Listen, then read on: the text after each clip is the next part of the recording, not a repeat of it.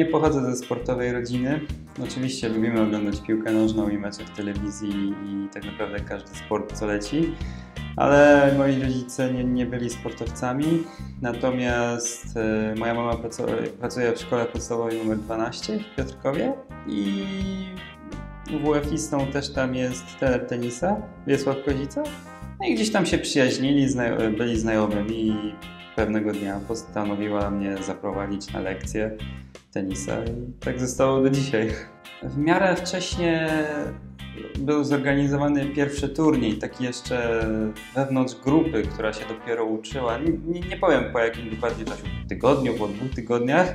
I wygrałem ten turniej wewnątrz naszej grupy i no, faktycznie spodobało mi się. Gdzieś chciałem to kontynuować. Rodzice też widzieli, że mi się to bardzo podoba.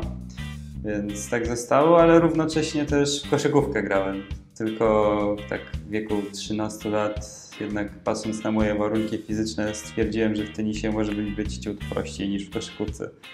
Mama zachowuje wycinki z gazet, wszelkie zdjęcia robione jeszcze naście lat temu z pierwszych turniejów, czy materiały wideo.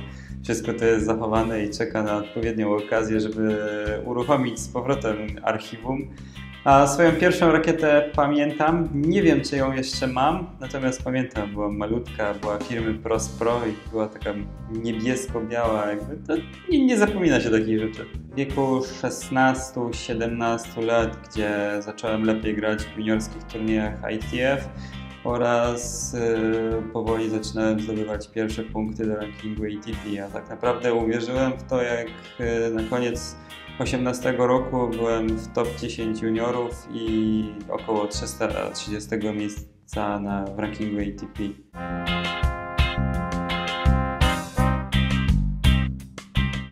Miałem bodajże 11 lat, to nawet odłożyłem na gdzieś powiedzmy 3 tygodnie rakietę. Z, najpierw z rodzicami stwierdziliśmy, że to w sumie nie dla mnie, że gdzieś tam nie miałem ani postury, bo jak byłem mały, to byłem jakby nie do końca wysportowanym dzieciakiem, więc wydawało nam się, że to nie dla mnie. Ja gdzieś tam też poprzegrywałem kilka meczy i stwierdziłem, że dobra, nie ma co. Ale rodzice namówili mnie z powrotem, wtedy też pierwszy raz zmieniłem trenera i gdzieś to od nowa zacząłem poznawać miłość do tego sportu, od nowa zacząłem trenować, odnosić sukcesy, które oczywiście napędzały mnie coraz większej pracy, coraz mocniejszej pracy i w sumie tak już zostało. Ale też problem miałem w momencie, w którym mi się pieniądze skończyły powoli, bo tak naprawdę na horyzoncie nie miałem dla siebie jakichś takich sensownych perspektyw, w sensie wiedzy, co sam mogę zrobić, żeby pójść dalej, też pieniądze się kończyły. Byłem na miejscu 330 i to też była bardzo trudna sytuacja, więc jakby miałem dwa takie trudne momenty, ale na szczęście je przetrwałem i no i teraz jestem tu, gdzie jestem, a wierzę, że będę jeszcze dalej i wyżej. Rodzice są nauczycielami, więc tenis nie jest idealnym sportem dla rodziny nauczycielskiej. Natomiast na swojej drodze i jak byłem młodszy, jak jestem teraz, miałem dużo pomocy. Miałem bardzo dużo pomocy i ze strony i w Piotrkowie, i później w Łodzi. Natomiast kryzys y, przytrafił mi się, jak faktycznie po tym momencie, w którym uwierzyłem, jak powiedziałem, że miałem 18 lat i byłem 330 ATP gdzieś na 3 lata zatrzymałem się i dryfowałem pomiędzy tym miejscem a miejscem 270. Nie mogłem przebić się dalej. Też akurat to był moment, w którym tego wsparcia miałem najmniej, więc gdzieś tam te pieniądze się rozmywały i uciekały i faktycznie dotarłem do kryzysowego momentu, ale wtedy właśnie pomógł mi choćby ten Iwański, który zorganizował mi pieniądze i pomógł dalej przeprowadzić szkolenie moje.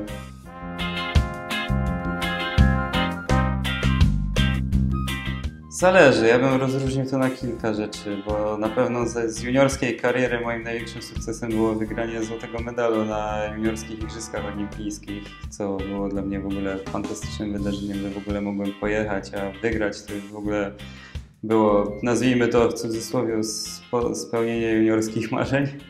A w seniorskich Myślę, że póki co zapisałbym y, trzecią rundę na US Open oraz trzy tytuły na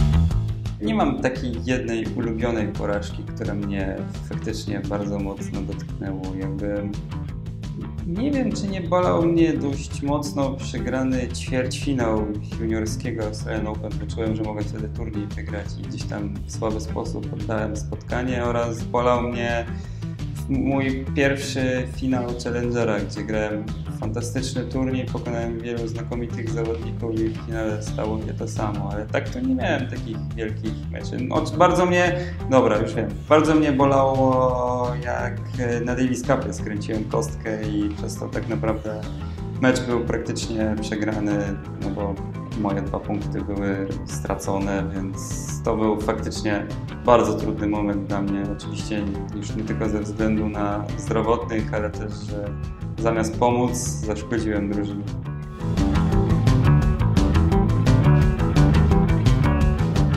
granie Pucharu Davisa i reprezentowanie Polski to są zupełnie inne emocje, z którymi spotykamy się na co dzień, tak naprawdę w indywidualnych turniejach.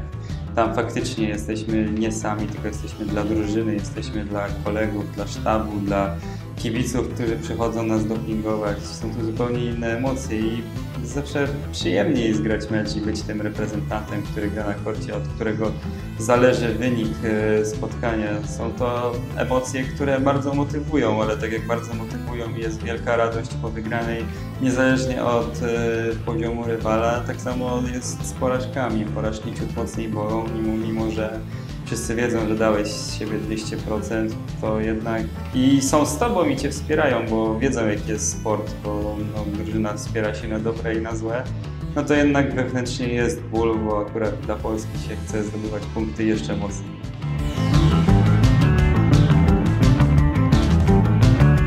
Z tenisa właśnie zawsze mi imponował Djokovic i Ferrer, który już niestety nie gra, ale jego walka na korcie i jego w ogóle życie tenisem, w sensie już mówię na meczu, było naprawdę imponujące. To jak Djokovic właśnie ma tą siłę mentalną i jest kilku genialnych zawodników, a on jednak wiele tych spotkań wygrywa właśnie przez detale, właśnie przez siłę mentalną, to jest niesamowite. Mam nadzieję, że doprowadzę się do jak najbliższego stanu, żeby to tak, tak samo reagować i działać. Jestem studentem Uniwersytetu Łódzkiego na kierunku yy, pedagogika sportu.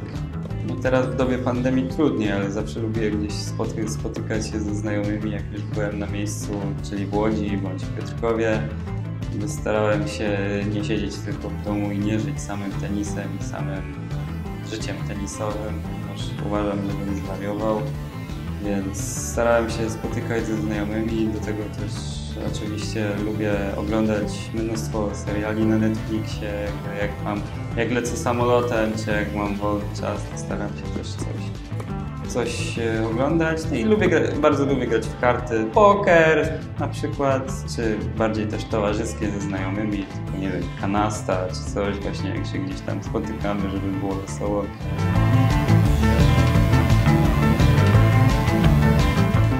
Zależy co kto lubi, ale ja generalnie bardzo lubię Wikingów. Bardzo lubię, bardzo lubię tą sagę, ten serial. Czekam właśnie aż wyjdzie kolejny sezon. Jestem na bieżąco, w zasadzie chyba za dwa razy już obejrzałem całość, więc jak ktoś lubi te klimaty, to zdecydowanie polecam Wikingów.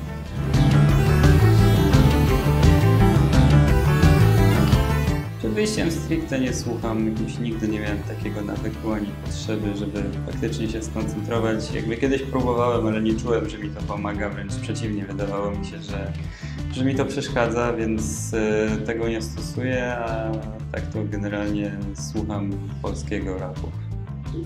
Czy choćby Kłebona Fide, Taco, Paluch, wszystkich, którzy, że tak powiem, obecnie są na topie, a wcześniej Paktofonikę czy Kaliber 44.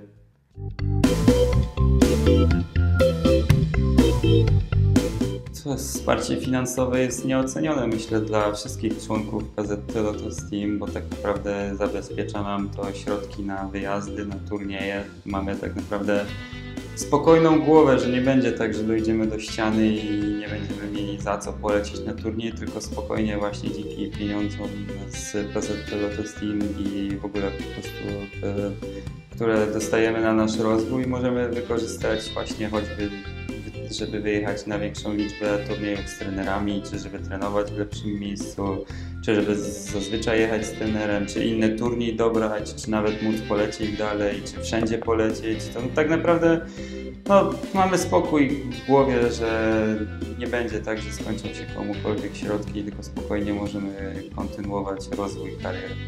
Bardzo fajnie, że nasz obecny prezes no, wypromował nasz sport pośród e, ludzi, którzy kręcą się właśnie przy polskich spółkach i zdecydowali się zainwestować w tenis. Myślę, że odbiór zwrotny jest bardzo duży, bo tenis jest teraz wszędzie. Iga wygrała Roland Garros, więc ten tenis cały czas się rozwija. Jest coraz więcej fajnych programów, które promują tenis. Też jest coraz więcej zawodników, którzy jeżdżą i reprezentują Polskę na arenie międzynarodowej, więc to wszystko fajnie się rozwija i oby to trwało jak najdalej. Jak za, za, zaczynał się program i były początki programu, to tak naprawdę właśnie też dzięki tym środkom spokojnie mogłem regularnie jeździć na turnieje z trenerem, też pozwalały mi zdobywać punkty, kontynuować pracę, którą wykonywaliśmy stacjonarnie na treningach i pozwalały mi się rozwijać, dojść już do tego ostatniego miejsca.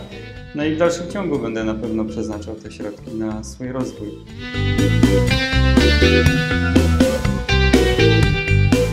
No moją najbliższą grupą wsparcia są moi rodzice, mama Karolina, tata Piotr i brat Adaś.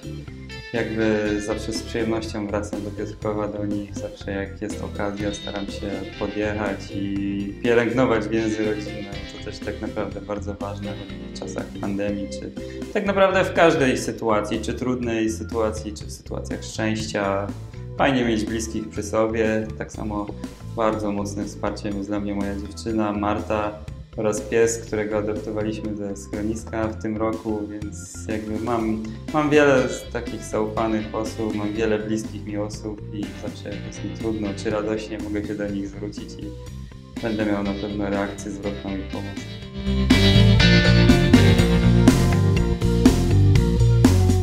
Najbliżej przyjaźnię się z Jankiem Zielińskim, gdzie też od najmłodszych lat e, rywalizowaliśmy razem, ale też grywaliśmy deble razem, wiele razem przyszliśmy, wygraliśmy i wydaje mi się, że ta przyjaźń pozostanie już na, na całe życie. Tak naprawdę jesteśmy blisko ze sobą, jesteśmy w stałym kontakcie, więc serdecznie Cię pozdrawiam, Janku.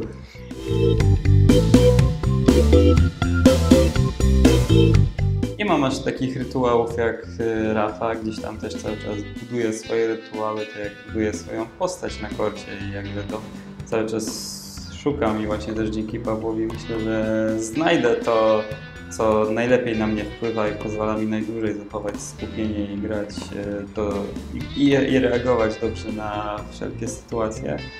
Natomiast mam kilka takich swoich, którymi może w sumie niekoniecznie chcę się dzielić, bo to każdy tenisista jest na swój sposób nienormalny, więc jakby bardzo lubię, jak idę na mecz, lubię siadać po tej samej stronie łapki, gdzie siedziałem na przykład pierwszego meczu, który wygrałem. Czyli jakby, że jak siedziałem po lewej, to nieważne na jakim korcie będę następnym, żebym też siedział po lewej od sędziego na przykład, albo że, że no, z reguły jak już grałem mecz, to zostawiam taką samą ilość rakiet na ciągnięcia, wykonuję takie same procedury, mniej więcej oczywiście zależy o której gram, ale zachowując te same odstępy czasu, żeby przypadkiem nic nie było inaczej, żeby wszystko było w tym samym trybie, w tym samym przygotowaniu do meczu.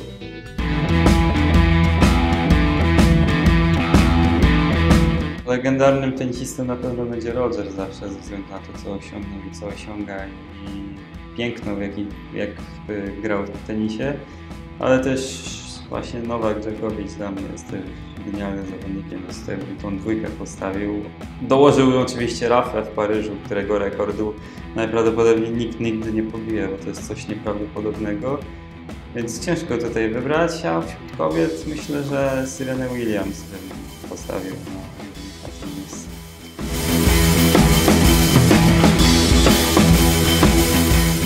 Oglądam w telewizji, lubię oglądać tenisowe mecze, też gdzieś zawsze można wyłapać coś dla siebie, czy pod względem taktycznym, czy pod względem rozegrań, czy choćby po to, żeby na przyszłość znać słabości rywali, bądź mocne strony. Ja jak jestem na turniejach, gdzie też są Polacy, to w miarę możliwości, jak nie mam meczu później bądź w tym samym czasie, to też zawsze chcę przyjść, pooglądać, pokibicować i wspierać, żeby nas było tam jak najwięcej na tych turniejach.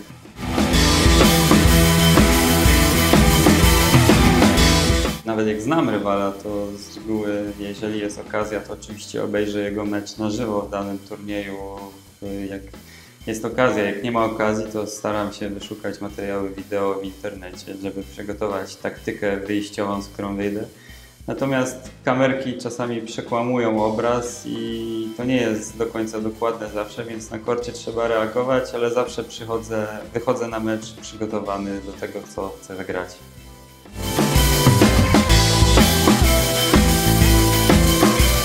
Teraz w styczniu miałem tą pękniętą kość kluczową, która była taka w sumie najgroźniejsza. No, nieszczęście, że się zdarzyła, ale szczęście, że nie była przerwana kość całkowicie, więc też nie trzeba było ingerować tam, tylko trzeba było dać temu czas, więc to była w sumie moja najgroźniejsza kontuzja, oby do końca.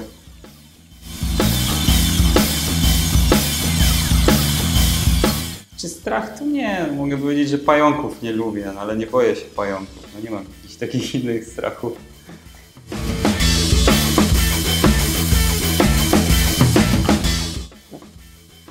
Chciałbym wygrać Wimbledon.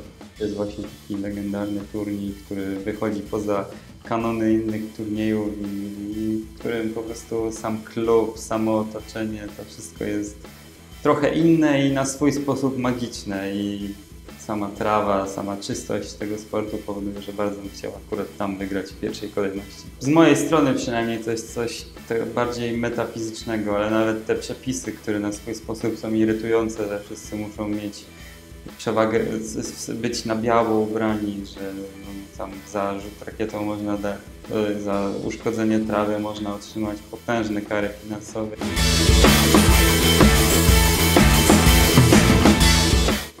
Tenis z jednej strony jest o tyle dobrą dyscypliną, że tak naprawdę co tydzień mamy szansę próbować od nowa, a od, no, że przegrywamy i mamy następnego, w następnym tygodniu kolejny turniej, ale to również bywa trudne, jak jedziemy z turnieju na turniej i tak naprawdę jesteśmy skazani na porażkę. Tak naprawdę rzadko zdarza się, że jedynie kilka osób w tygodniu wygrywa turniej, tak, więc jest to trudne, bo przede wszystkim cały czas trzeba się mierzyć z porażką i cały czas trzeba ją dobrze znosić i trzeba być przygotowanym na to, bo to jednak potrafi wejść y, do psychiki. Jak jedziesz na turnieje i non stop przegrywasz, mimo że masz szansę cały czas, to gdzieś tam zaczynają się zwątpienia, a to powinno motywować do jeszcze mocniejszej pracy.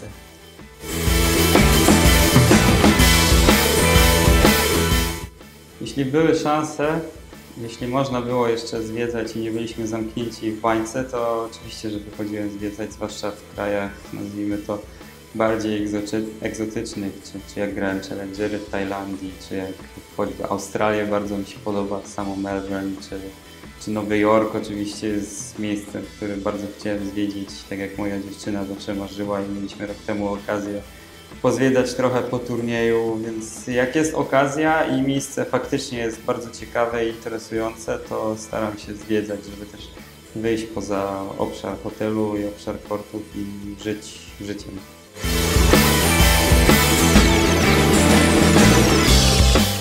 I Jurek Janowicz i Hubi. Z Hubim jesteśmy praktycznie ten sam rocznik. Hubi jest rok młodszy, ale gdzieś tam przez juniorskie lata i początkowe seniorskie grywaliśmy we wszystkich turniejach razem i tak naprawdę byliśmy blisko siebie. Teraz mi uciekł i jest taką moją dodatkową motywacją, żeby go dogonić, żebyśmy mogli te boje, które toczyliśmy za juniorskich lat przenieść na największe światowe korty ale też Jurek, z którym w, ze swoich juniorskich lat mogłem trenować, jak on osiągał największe sukcesy, wtedy półfinał Wimbledonu, miejsce 14 na świecie, więc jakby no, pokazali mi obydwoje, że można tam dojść i myślę, że przy ciężkiej pracy, przy szczęściu i przy zdrowiu też tam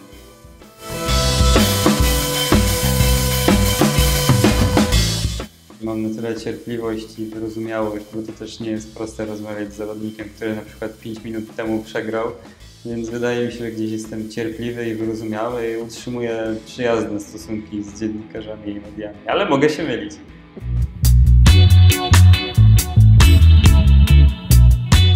To nie było od dziennikarza, ale niejednokrotnie usłyszałem pytanie, jak coś musiałem załatwić.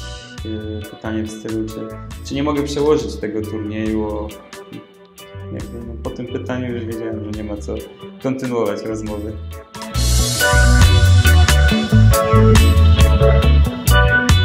Śniadanko przygotowuję sobie sam.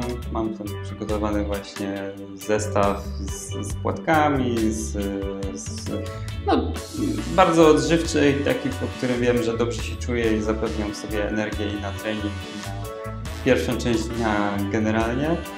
A co po południu, to zależy. Jak jestem stacjonarnie trenuję, to staram się gotować, żeby to wyszło jak najbardziej zdrowo i gdzie faktycznie wiem, co mogę i co, i co jem.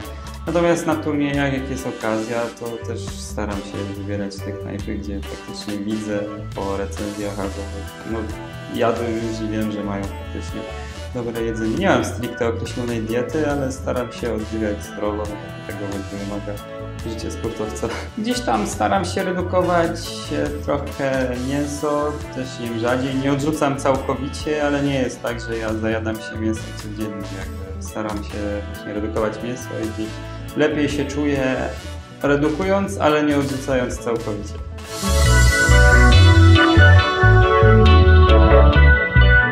Jak w coś mam pójść, to pójdę w słone paluszki, jeśli chodzi o przekąski, a jeśli chodzi o, o danie, to, to nie wiem.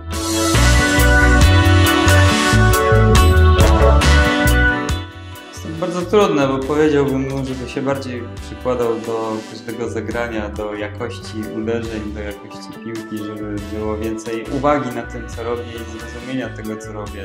A to się przykłada i właśnie na zagrania na korcie i do rozgrzewek przed kortem i do rozciągania się po treningach i do jakby prowadzenia się we właściwy sposób. Natomiast problem jest taki, że jakbym sobie to powiedział w wieku 15 lat, to 15-letni ja by tego pewnie nie zrozumiał jeszcze, więc jest, nie wiem jakbym to ubrał w słowa, żeby to sobie przekazać, ale bym chciał właśnie pokazać, żeby nie, nie marnować czasu po prostu, bo czas jest bardzo cenny i już w wieku 15 lat można go bardzo efektywnie przepracować.